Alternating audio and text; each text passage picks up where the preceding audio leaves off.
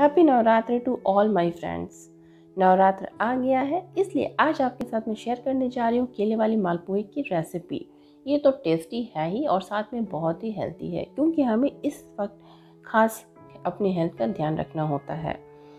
And आप इसी नवरात्र के साथ साथ हम आप वीकली फास्ट में भी ट्राई कर सकते हैं। ये बहुत ही अच्छी रेसिपी है, बहुत ही आसानी से बन जाती है, इसमें बिल्कुल मेहनत कम लगने वाली होती है। एंड ये खाने में भी टेस्टी है ये बच्चों के हम ब्रेकफास्ट में भी अभी हम दे सकते हैं। तो चलिए शुरू करते हैं फटाफट केले वाली मालपुए की रेसिपी अगर ये मालपुए की रेसिपी आपको थोड़ी सी भी अच्छी लगती है तो प्लीज़ लाइक का बटन ज़रूर हिट कीजिएगा। एंड uh, मेरे चैनल को सब्सक्राइब किए हुए कहीं मत जाइएगा और साथ ही साथ नोटिफिकेशन बेल को ज़रूर ही प्रेस कर लीजिएगा क्योंकि इसी से मिलेंगे मेरे नए नए वीडियो की नोटिफिकेशन केले वाले मालपुए बनाने के लिए सबसे पहले मैंने यहाँ पे दो पके हुए केले ले लिए हैं और अब मैं इसे छिलके इसे अच्छी तरह से मिक्स कर लूँगी। और यहाँ पे मैं मिक्स करने के लिए हैंड ब्लेंडर का यूज़ कर रही हूँ। आप हाथ से भी इसे मैश कर सकते हैं बट हैंड ब्लेंडर की यूज़ से ये काफ़ी अच्छी तरह से मैश हो जाता है। और अब आप देख सकते हैं केले को हमने अच्छी तरह से फेंट लिया है और अब मैं इसमें एक कटोरी के करीब यहाँ पे गेहूँ का आटा ऐड कर लेती हूँ। एंड इसके बाद यहाँ पे हम ऐड करेंगे दो चम्मच सूजी। एंड इसके बाद यहाँ पे मैं ऐड करने वाली हूँ यहाँ पे दो से तीन चम्मच के करीब चीनी। एंड इसके बाद यहाँ पे हम आधा कटोरी के करीब कंडेंस मिल्क ऐड कर लेते हैं। यहाँ पे हमें कंडेंस्ड मिल्क ऐड किया है इसीलिए मैंने यहाँ पे चीनी का आ, कम यूज़ किया है। अदरवाइज़ अगर आप मीठा आपको ज़्यादा पसंद हो तो आप चीनी को ज़्यादा या कम कर सकते हैं। और इसके बाद हम इन सारी चीज़ों को ऐड करने के बाद हम इसे अच्छी तरह से एक स्पून की हेल्प से फेंट लेते हैं। इन सब सारी चीज़ों को फेंटने के बाद हमारा अभी बैटर बहुत ठीक लग रहा है तो इसे मैं दूध की हेल्प से स्मूथ बना लेती हूँ। तो दूध हम यहाँ पे मैंने दूध एक बड़े कप से एक कप ले लिया है और इसे थोड़ा थोड़ा ऐड करते हुए मैं यहाँ पे बैटर को स्मूथ एंड बहुत ही जितना हमें ज़रूरत का बहुत हमें पतला नहीं बनाना, लेकिन इसे एक स्मूथ बैटर हमें बना लेना है।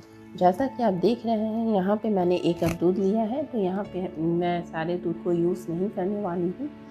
यहाँ पे थोड़ा थोड़ा दूध ऐड करते हुए हमें बैटर को बिल्कुल स्मूथ बनाना है और बहुत ज़्यादा पतला भी नहीं करना है। बस हमारा जो बैटर है, बहुत ही स्मूथ एंड सॉफ्ट हो, बन के तैयार हो जाए और इसे हमें ज़्यादा से ज़्यादा अच्छी तरह से फेंटना है ताकि हमारा जो मालपुआ है, बिल्कुल सॉफ्ट और स्पंजी बन के निकले। और इस तरीके से थोड़ा थोड़ा सा दूध ऐड करते हुए आप देख सकते हैं, हमें अपने मालपुए के बैटर को रेडी कर लेना है। और इसे पाँच मिनट तक मैंने यहाँ पे अच्छी तरह से फेंटा है, आप इस तरीके से फेंट लें क्योंकि कम फेंटने से मालपुआ जो है वो हार्ड बनेगा। अगर आप सॉफ्ट मालपुआ बनाना चाहते हैं तो इसे बहुत अच्छी तरीके से फेंटे, इसमें कंजूसी बिल्कुल भी ना करें। तकरीबन पाँच मिनट तक अच्छी तरह फेंटने के बाद मेरे मालपुए के बैटर बन के बिल्कुल तैयार है और वो भी बिल्कुल परफेक्ट बैटर बन के तैयार है क्योंकि आप देख सकते हैं ना, ये ना तो बहुत गाढ़ा है और ना ही बहुत पतला। एंड अब मैं इसमें ऐड कर लेती हूँ कुछ बारीक कटे हुए काजू एंड uh, बादाम। आप यहाँ पे अपनी पसंद के कोई भी ड्राई फ्रूट्स यूज़ कर सकते हैं। ये बिल्कुल आपकी चॉइस पे डिपेंड करता है। यहाँ पे मैंने दो ही uh, यहाँ पे ड्राई फ्रूट्स यूज़ किए हैं और इसके बाद मैंने इसे अच्छी तरह से फेंट लिया है। और इस तरीके से मिक्स करने के बाद अब हम चलते हैं इसे फ्राई करने के प्रोसेस में। यहाँ पे मैंने एक फ्राई पैन गैस पे चढ़ा लिया है और इसमें ऐड कर लिया ढेर सारा कुकिंग ऑयल और तेल हमारा गर्म हुआ है कि नहीं। यहाँ पे मैंने एक पिंच बैटर को मैं चेक कर लेती हूँ डाल के। आप देख सकते हैं, तेल हमारा गर्म हो गया है और अब मैं इसमें अपने एक बड़े से स्पून की हेल्प से इस तरीके से थोड़ा थोड़ा करते हुए एक एक चम्मच भरते हुए मैं यहाँ पे छोटे छोटे इस तरीके से शेप में अपने मालपुए को डाल देती हूँ। तेल में इस तरीके से हमें रखते जाना है। हम जैसे स्टार्टिंग में ऑयल में मालपुए के बैटर को ऐड करेंगे। हम इस वक्त अपने गैस के फ्लेम को मीडियम रखेंगे, लेकिन एक मिनट के बाद जैसे ही हम इसे फ्लिप कर लेते हैं, हम अपनी गैस की फ्लेम को लो कर लेंगे। ताकि हमारे मालपुए अच्छी तरह से कुक हो जाए। अगर हम इसे कंटिन्यू मीडियम फ्लेम पे ही इसे अच्छी तरह से फ्राई करेंगे तो ये ऊपर से अच्छी तरह, बहुत ही क्रिस्पी बन जाएगा बट ये अंदर से कच्चा रह जाता है। इसीलिए हम इसे फ्लिप करने के बाद पाँच मिनट तक इसे हम लो फ्लेम पे ही अच्छी तरह से फ्राई करेंगे, ताकि ये अंदर से भी क्रिस्पी और अच्छी तरह से कुक हो जाए। लो फ्लेम पे हम जब इसे फ्राई करते हैं तो भी हम इसे बीच बीच में फ्लिप करते रहेंगे ताकि ये दोनों तरह दोनों साइड से ही अच्छी तरह से फ्राई हो। और इस तरीके से हम पाँच मिनट के लिए इसे लो फ्लेम में फ्राई करने के बाद इसे हम दो सेकंड के लिए मीडियम फ्लेम करके इसे अच्छी तरह से फ्राई करते हुए हम प्लेट आउट कर लेते हैं।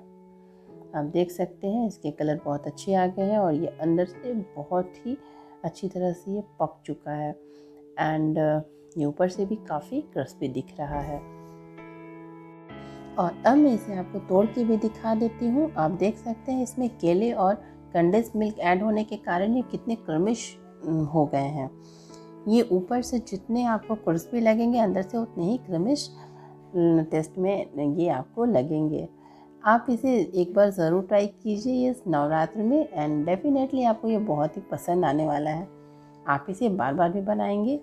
एंड आज, अगर आज की रेसिपी आपको अच्छी लगती है तो प्लीज़ लाइक का बटन ज़रूर प्रेस कीजिएगा और साथ ही साथ मेरे चैनल को ज़रूर सब्सक्राइब कीजिए एंड इसे ज़्यादा से ज़्यादा शेयर कीजिए। तो मिलते हैं ऐसे ही एक नई नवरात्रि स्पेशल रेसिपी के साथ। तब तक के लिए बी हेल्दी बी सेफ़